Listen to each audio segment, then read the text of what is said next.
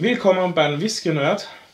Und heute stehe ich, wie ihr seht, vor dem selbst gebastelten Winterdorf meiner Frau.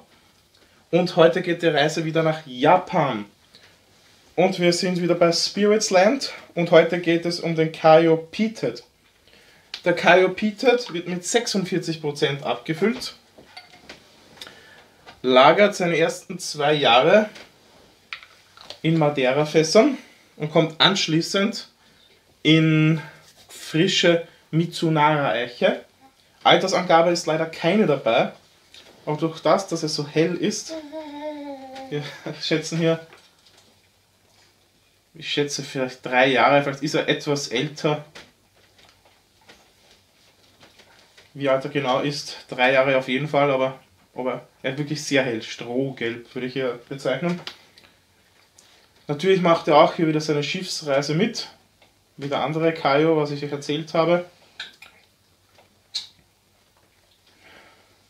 Und zu Beginn haben wir gleich Jod in der Nase, wo anschließend eine Spur von Rauch folgt. Das Torf. Dahinter kommt etwas Sandelholz noch etwas Beeren. Beeren.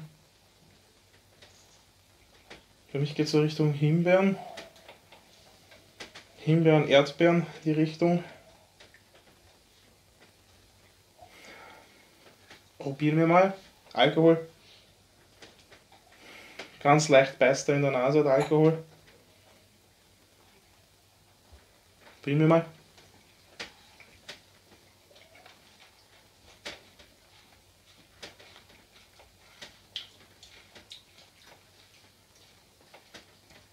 46%. Ein schöner, weicher Antritt.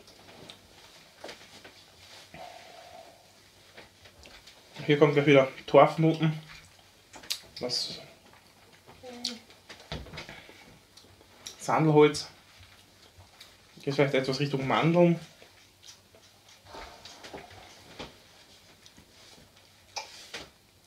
Ja, dahinter sogar Richtung Soja. Sojamehl hier gehen.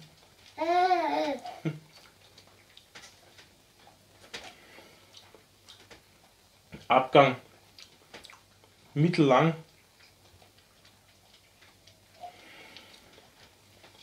Ein leicht fruchtiger, würziger Ausklang, würde ich sagen. Noch ein bisschen Sandelholz bleibt noch mit dabei. Was ich jetzt so gehört habe, kommt dieses Sandelholzaroma von der Mitsonara-Eiche.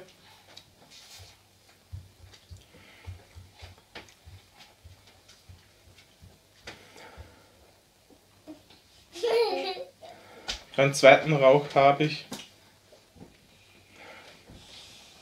Jetzt auch noch Jod. Aber diese schwachen Rauchnoten sind schon ziemlich weg. Sandholz bleibt noch, meine Himbeeren, Erdbeeren. Ja, ein interessanter junger Malt.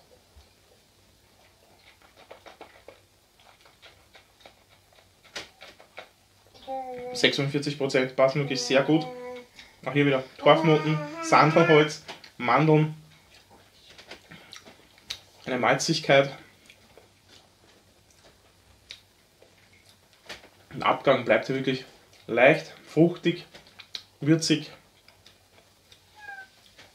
Ein sehr interessanter junger Japaner. Wenn ihr mal ein Sample bekommt, könnt ihr den mal probieren. Ich finde, dass Kajo, man bleibt hier stehen am Schnee. Also ich finde, dass hier diese Kajo wirklich Potenzial haben. Mal sehen, wie dann das Ganze wird, wenn sie ins höhere Alter kommen. Aber auch hier die Jungen sind schon wirklich sehr interessant. Man kann sie wirklich mal schön trinken. Also 46% schön eingebunden. Noch immer hier leichte Fruchtigkeit. Sandholz, vielleicht sogar ein bisschen Mandeln noch hier.